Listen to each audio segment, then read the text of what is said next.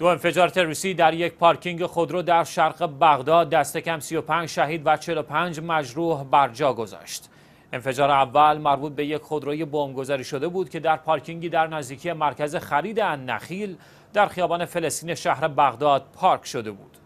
پس از این انفجار و با جمع شدن مردم برای کمک به مجروحان یک تروریست انتحاری خود را در میان مردم منفجر کرد و به تعداد شهدا و مجروحین افزود. پس از حضور نیروهای امنیتی در محل مجروحین این دو انفجار تروریستی که حال بسیاری از آنان وخیم گزارش شده بود به مراکز درمانی منتقل شدند. به گفته منابع امنیتی یک تروریست انتحاری دیگری نیز در صحنه حضور داشت که متواری شده و نیروهای امنیتی در تعقیب وی هستند. سنی های تندروی داعش با به عهده گرفتن مسئولیت این حمله تروریستی اعلام کردند که به تجمع شیعیان حمله کردند.